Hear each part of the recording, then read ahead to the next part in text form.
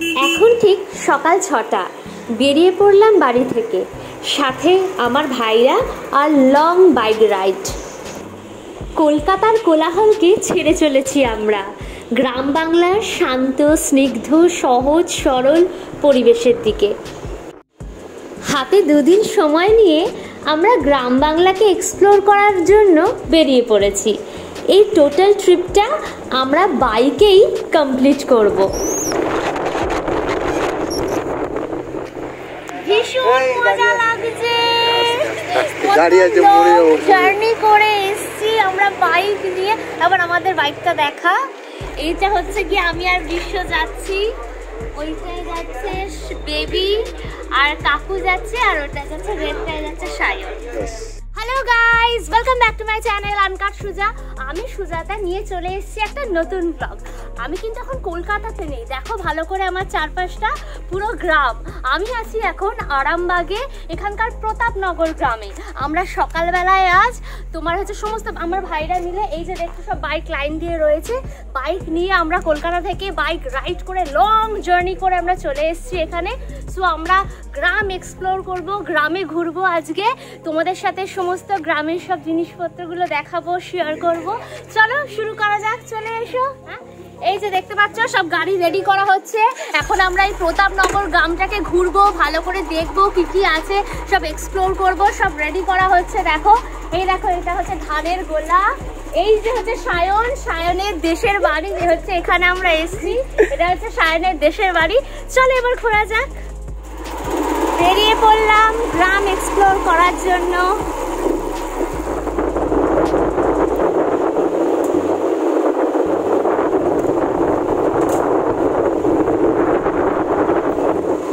কি সুন্দর দেখো সরু রাস্তা তার দুপাশে গাছ রয়েছে। তার মাঝখান দিয়ে এই মেঠো পথ দিয়ে আমরা চলেছি। বাইকে করে কি ফাটাফাটি লাগছে? ফাটাফাটি মজা! এই দেখো, আমি এখন চলে এসেছি প্রতাপনগরের কালী মন্দিরে। দেখো এখানে মা কালীর প্রতিমা রয়েছে। দেখা ভালো করে বল তো এই মন্দিরটা সম্বন্ধে বল।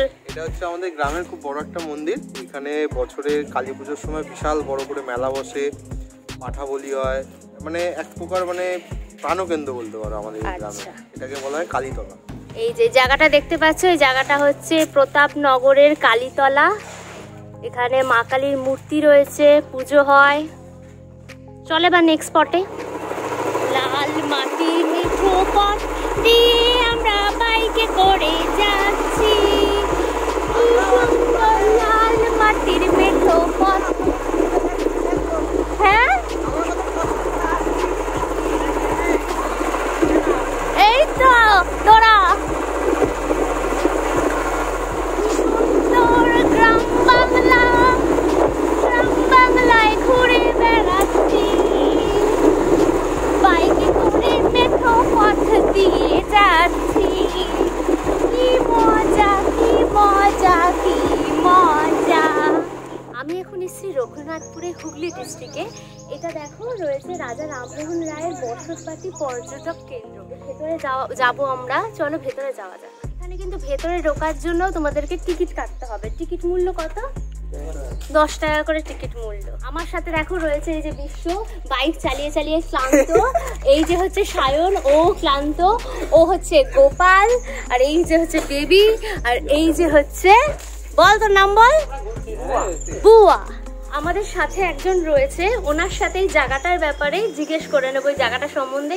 ওনার কাছ থেকে কিছু জেনে নেব। বলুন এই জায়গাটা সম্বন্ধে কিছু বলুন আপনি। আপনারা এই যে জায়গাটা এসেছেন এটা হচ্ছে রামমোহনের বসত বাড়ি আচ্ছা কিলোমিটার দূরে হচ্ছে রামমোহনের জন্মস্থান। আচ্ছা। আর এই যে স্ট্যাচুটা দেখছেন স্ট্যাচুটার সামনে যে বেদিটা এটা সতীদাহ বেদি। আচ্ছা। এইখানেই রামমোহনের বৌদিকে সতীদাহ করা হয়েছিল। আচ্ছা। দাদা মারা যেত দাদার নাম ছিল জগমোহন রায়। আচ্ছা। তার স্ত্রী হচ্ছে অলকা মঞ্জুরি। তাকে ওইখানে সহমরণে যেতে হয়েছিল।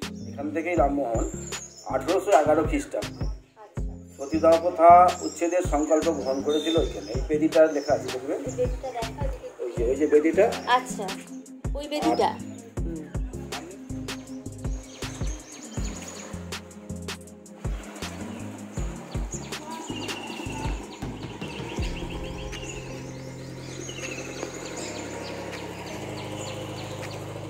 সামনের দিকে যে বাড়িটা দেখছেন ভাঙা বাড়িটা ওটা রামমোহনের নিজের বাড়ি ছিল।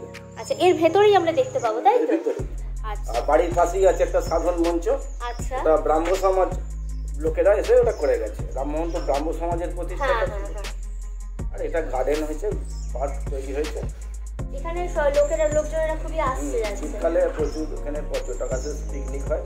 আচ্ছা এখানে পিকনিক স্পটও রয়েছে। পিকনিক স্পট হয়। আচ্ছা পিকনিক মানে পিকনিক করার জন্য কি এখানে আগে থেকে বুক করতে হবে? না এখানে এসে টিকিট কাটলেই হবে। আচ্ছা আচ্ছা। এর জন্য একটা টিকিটের চার্জ লাগে দেড়শো টাকা আচ্ছা। স্পট ভাড়া আচ্ছা। আর দশ টাকা করে পার হেড ঢুকতে গেলে টিকিট আচ্ছা ভেতরে কি আছে বললেন ওইদিকে আদি বাড়ি রয়েছে যেখানে জন্মস্থান যেটা বাবার ভিটে। আচ্ছা বাবার বাবার ভিটে যেটা। এটা তো রামমোহনকে এখানে তেজ্যপুত্র করে দিয়েছিল বলে এখানে সে বাড়ি করেছিল। আচ্ছা। আর ওইখানে যে বাবার ভিটে আছে সেখানে যে বাবার বাড়ি ছিল সে বাড়িটা নষ্ট হয়ে গেছিল। নষ্ট হয়ে যাওয়ার পর রামমোহন মারা যাওয়ার একশো বছর পর ওটা রবীন্দ্রনাথ ঠাকুর স্কেচ করে করেছে মন্দির মসজিদ গির্জা। আচ্ছা। তিন রকম মডেলে করা আছে স্মৃতিসৌধটা আর একটা ওখানে বিষ্টল থেকে মাটি এনে তার একটা সমাধিস্থল যেমন বিষ্টলে আছে ওই রকম ওখানে হয়েছে। আচ্ছা। ওটা ওখানে গেলে দেখতে পাবেন। আর পাশেই আছে গোপীনাথ জিউর মন্দির যেটা গুপ্ত বৃন্দাবন বলা হয়। আচ্ছা আচ্ছা। ওটা ঐতিহাসিক তীর্থস্থান একটা। আচ্ছা। আমরা অনেক কিছু জানতে পারলাম এই জায়গাটা সম্বন্ধে। আপনার নামটা বলে আমার নাম তরুণ চক্রবর্তী তরুণ চক্রবর্তী স্যারের কাছ থেকে আমরা অনেক কিছু জানতে পারলাম। তো তোমরাও এখানে আসতে পারো।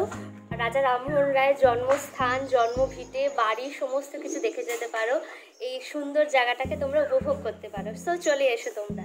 থ্যাংক ইউ এই যে দেখতে পাচ্ছ ওইটা হচ্ছে রাজা রামমোহন রায়ের বসত বাড়ি ছিল। এখন দেখো ভগ্নাবশেষ টাইপের হয়ে গেছে। চলো। সামনে থেকে গিয়ে দেখা যাক। দেখো চারিপাশটা। এখানে একটা টাইমে রাজা রামমোহন রায় বাস করতেন। আর সেটা দেখো পুরো ভগ্নস্তূপে পরিণত হয়েছে। কিছু অংশ, অবশিষ্টাংশ রয়েছে দেখো চারিপাশটায়।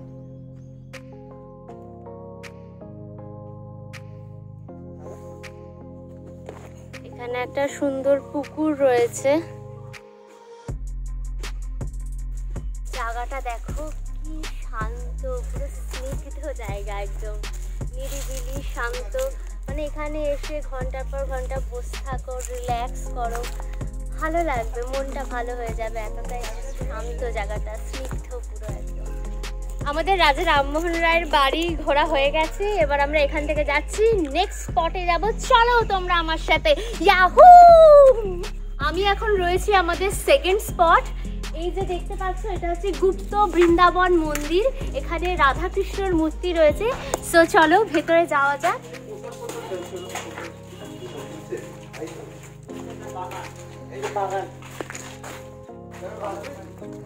এখানে একটা পুকুরও রয়েছে, দেখো, মন্দিরের সাথে।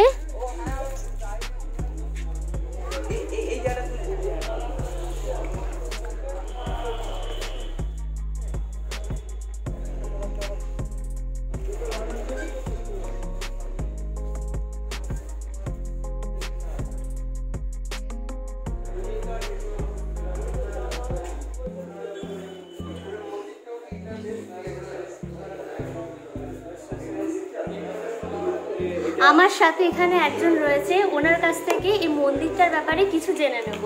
চলো আপনার নাম কি? রঞ্জিত গোস্বামী। আচ্ছা এই মন্দিরটার ব্যাপারে একটু যদি কিছু বলেন। মন্দিরটা আমাদের বহু পুরানো আচ্ছা। অনেক দিনের মন্দির। তবে এই মন্দিরে যে অভিরাম গোস্বামী আছেন উনি হচ্ছেন সাধক ছিলেন। উনি গোপীনাথকে বৃন্দাবন থেকে নিয়ে এসে এখানে বসিয়েছিলেন। এই বৃন্দাবন থেকে নিয়ে এসে বসাবার ফলে আমাদের এইটার নাম দেওয়া হলো গুপ্ত বৃন্দাবন। এটার নাম লেখা আছে দেখুন গুপ্ত হ্যাঁ হ্যাঁ হ্যাঁ। আর এখানে আমাদের মহোৎসবের সময় অন্নকূট হয়। আচ্ছা মানে অন্নকোটে বড় করে পুজো উৎসব হয় হ্যাঁ এখানে লোকজন খাওয়ানো হয়। আচ্ছা আচ্ছা। ভোরবেলা এখানে অন্ন দান করা হয়। আচ্ছা। তখন লোকজন বসে খায়। আচ্ছা এই মন্দিরটা কত বছর পুরনো?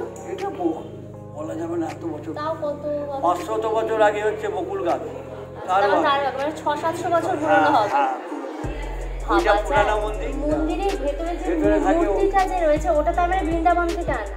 হ্যাঁ এই গোপীনাথের মন্দির। গোপীনাথের মূর্তি। ওখানে কিন্তু যমুনা যমুনার জল বয়ে যাচ্ছে। কদম গাছের ওপর বাঁশি বাজাচ্ছে। আচ্ছা। আজ বৃক্ষ আছে আমরা লক্ষ্য করে দেখবেন। কেমন? এবার বৃক্ষে বাঁশি বাজাচ্ছে বসে। গোপিনীরা ধেনু চড়াচ্ছিল ধেনু চড়াচ্ছে গোপী বস্ত্র ধারণ করেছে কাপড় সব আছে এই পাথরটার মধ্যে ওটা কিন্তু বস্তু আছে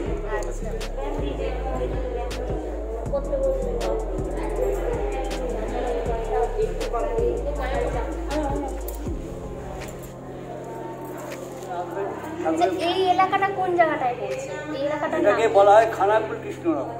খানাকুল কৃষ্ণনগর। ওই জন্য আমরা হুগলি জন্য আমরা তোমরা যদি এই পাঁচশো ছশো বছরের পুরনো যদি এই রাধা গোবিন্দের মন্দিরে আসতে চাও তোমরা খানাকুল কৃষ্ণনগর হুগলি জেলায় চলে আসো। খুব সুন্দর জায়গা। এলে পরে মন একদম ভরে যাবে কৃষ্ণের মূর্তি দেখলে। এখানকার কৃষ্ণের মূর্তি কিন্তু বৃন্দাবন থেকে আনা। ভীষণই সুন্দর বিগ্রহ। ধন্যবাদ আপনাকে আপনি এত দিলেন। আচ্ছা।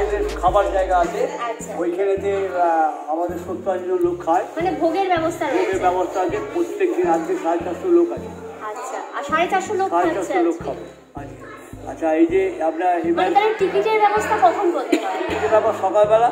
না হলে কালকে রাত্রি ওই যে বললাম ফোন নাম্বার নিয়ে যান। আচ্ছা। কোনো প্রয়োজন হলে আমার ফোন করুন। তা ফোন নাম্বারটা একটু বলে দিন আপনার। Nine zero nine three eight one nine two three one.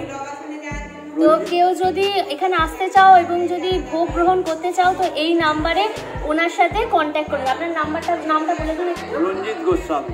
রঞ্জিত গোস্বামীর সাথে আর তোমরা কন্ট্যাক্ট করতে পারো। ধন্যবাদ আপনাকে অনেক ইনফরমেশন দিলেন। মোটামুটি ইনফরমেশন এখন বসলে এখন অনেক কিছু বলা যায়। আপনাদের টাইম তো আমার টাইম ছটার সময় বেরিয়ে অবস্থা খারাপ হয়ে গেছে। আমরা সেই কলকাতা থেকে এসেছি। ঠাকুরের প্রসাদ খাই দিন এই যে দেখতে পাচ্ছ যে নদীটা এই নদীটায় আমরা এখন যাব। কি সুন্দর দেখো ব্রিজটা গেছে আর এই বড় নদীটা। চলে এসছি আমরা নদীটার সামনে।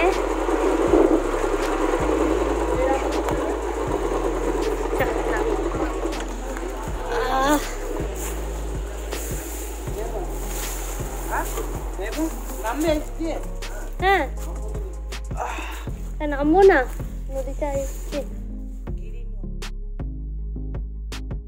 আমরা আমাদের নেক্সট ডেস্টিনেশন নেক্সট স্পট এই যে দেখতে এই পোলটা, এটা হচ্ছে দিগুড়ি ঘাটের পোল, ঠিক আছে? আর এই ঘাটটা দেখতে পাচ্ছ, এই নদীর সামনে যে ঘাটটা, এই প্লেসটার নাম হচ্ছে দিগুড়ি ঘাট। আর এই নদীটা যে বয়ে চলেছে দেখো কি সুন্দর বিশাল বড় নদী। এই নদীটার নাম নাম হচ্ছে মুন্ডেশ্বরী নদী। তো দেখো জলটা কি ক্লিয়ার তো আমরা যাব এখন নামবো চলে এসো। জলটা খুব সুন্দর রে দেখ আমি বললাম না পুরো সবুজ জল। পুরো সবুজ জলটা একদম। মুন্ডেশ্বরী নদীটা খালি দেখো কি সুন্দর। এই পুরো একদম সবুজ। সুইমিং পুলের মতো। সবুজ কালারের। ওখানে নৌকো রয়েছে চাইলে নৌকাও চাপা চাপা যাবে বল। যেতে হবে ওখান থেকে। মুন্ডেশ্বরী নদীটা দেখো কি সুন্দর। জলটা পুরো সবুজ একদম। রোদের আলোটা পড়েছে তো জলটা পুরো সোনার মতো ঝলমল করছে হীরের মতো চকচক করছে। কি সুন্দর দেখো চওড়া একদম পুরো ঘাট পাড়গুলো পুরো নদী। খুব সুন্দর নদীটা। তোমরা এখানে আসতেই পারো। খুব ভালো লাগবে।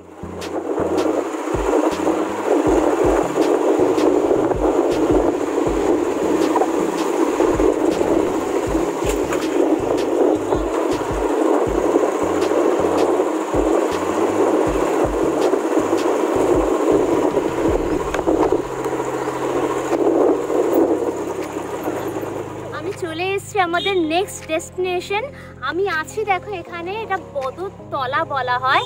আর এই যে দেখতে পাচ্ছ এই দরগাটা এই দরগাটা হচ্ছে নাম বদর সাহেবের দরগা। চলো ভেতরে যাওয়া যাক, দেখি দরগাটা।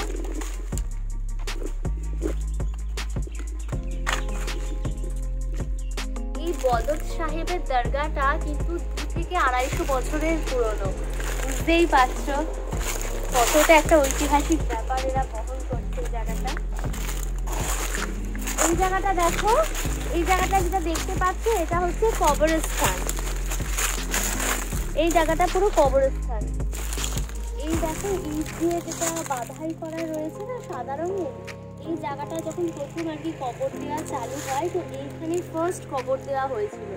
সেই কারণে এই জায়গাটা এরকম বাধাই করে রেখেছে। এই যে দেখছ যে বদর সাহেবের দরগা, এর সামনের যে ফাঁকা পোর্শনটা দেখছ, এইখানে কিন্তু জানুয়ারি মাসে বা তার জানুয়ারি মাসের মিড উইকের দিকে কিন্তু এখানে বিশাল বড় মেলা হয়। সো তোমরা এখানে আসতেই পারো, ভালো জায়গাটা, সুন্দর। সকালের এক প্রস্ত ঘোরা হয়ে গেছে। বাড়িতে গেছি খাওয়া দাওয়া করেছি ফ্রেশ হয়েছি, একটু রেস্ট নিয়ে আবার বেরিয়ে পড়েছি। বিকেলবেলায় আমাদের গ্রামটাকে এক্সপ্লোর করার জন্য। চলো দেখা যাক কোন কোন স্পট যাওয়া যায় সবই তোমাদের সাথে শেয়ার করব। চলো। এই দেখো কি সুন্দর গরুরা রয়েছে। খাচ্ছে গরুরা। ছেড়ে দাও ছেড়ে দাও। খাচ্ছে খাচ্ছে খাচ্ছে। ও আলাম লগের মধ্যে বেজ্জতি হয়ে গেল হয়তো গরু করে দিল। এই দেখ গরু খেলো খাওয়ার। অসাধারণ। গরু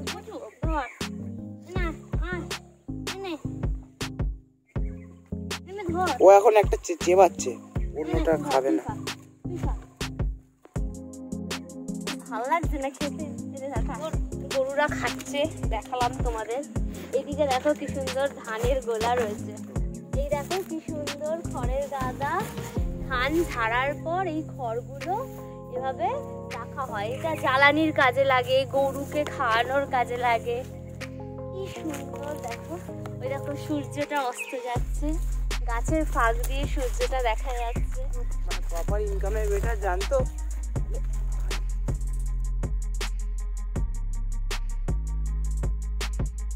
দেখো কি সুন্দর বিকেলে এরকম আল দিয়ে আমরা যাচ্ছি। দুপাশে দেখো আলুর ক্ষেত রয়েছে। আলু এখানে তোলা হচ্ছে। জমি থেকে আলু তোলা হচ্ছে। একদম দেখো জমির আলু পুরো। আলু তোলা হচ্ছে এটা পুরো দেখছ চারপাশে পুরো জমিটা পুরোটা কিন্তু আলু ক্ষেত। এই পুরো জমিটাই হচ্ছে আলুর ক্ষেত। এগুলো থেকে এখনও তোলা হয়নি তাই তো আলু? এগুলো থেকে তোলা হবে। এই পোর্শনটা থেকে আলু তোলা হয়েছে। ওর জন্য সব পড়ে আছে দেখো। জমির টাটকা সতেজ আলু। তো কলকাতায় সব আসে বস্তা ভরে তারপর ওখান থেকে আমরা নিয়ে যাই। এখান থেকে জমি থেকে তুললো টাকাশ করে।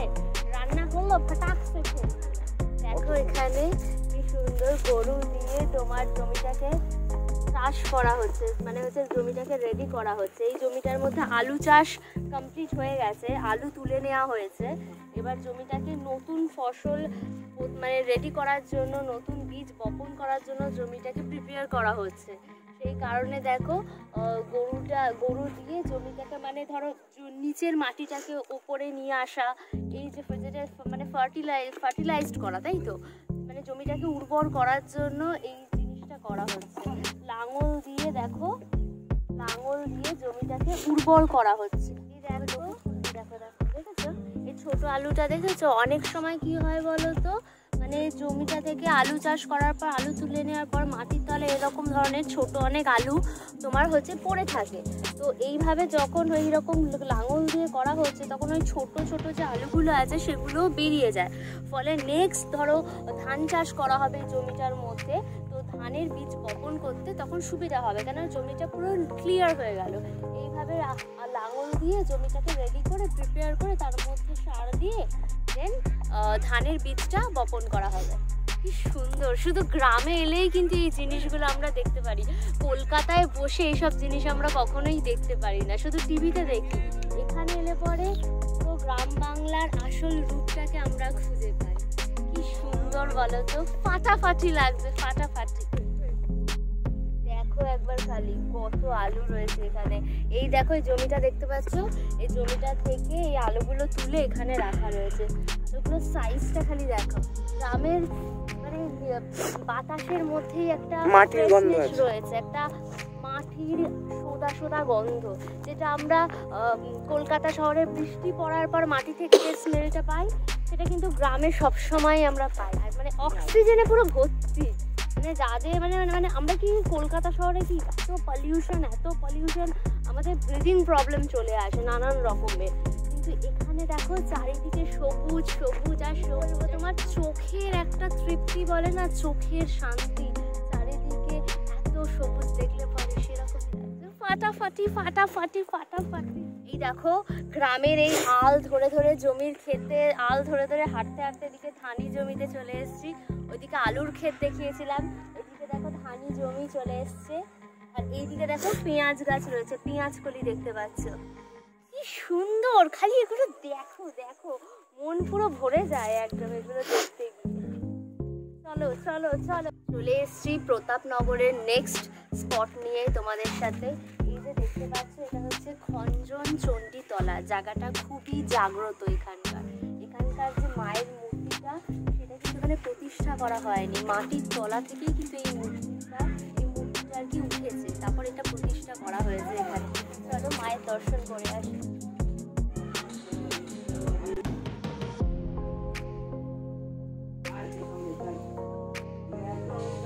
মায়ের মন্দিরের মাথার উপরে দেখো এই বট গাছটা রয়েছে।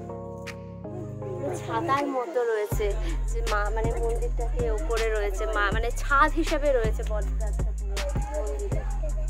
খুবই সুন্দর, জায়গাটা খুবই জাগ্রত। দেখো এই গাছটা এটা কিন্তু তেঁতুল গাছ। মন্দিরের মন্দিরের সামনে দেখতে পাচ্ছ এই বট গাছটা। মন্দিরের সামনে এই যে লাল মন্দিরের সামনে বট গাছটা এদিকে রয়েছে আর তেঁতুল গাছটা এদিকে রয়েছে। বহু পুরনো দেখেই মনে হচ্ছে একশো দুশো বছরের ভীষণ সুন্দর। এই জন্য গ্রাম বাংলা এত পিওরিটি রয়েছে. ভয় পাচ্ছ কিন্তু।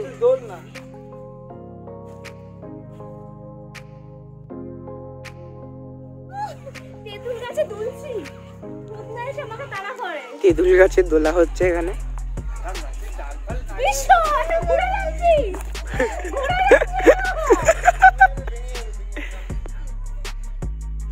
আপনারা দেখছেন আপনাদের প্রিয় আনকাট সুজাত। এমন ঘুরছে তার মাথায় ঘুরে যাবে মনে হচ্ছে। দেখা যাক এই এই তার ভাই বিশ্ব তাকে বাঁচিয়ে ফেলল। দেখা যাক কি হয়। যা, বেঁচে গেছে পড়েনি কেমন লাগল তোমাদের?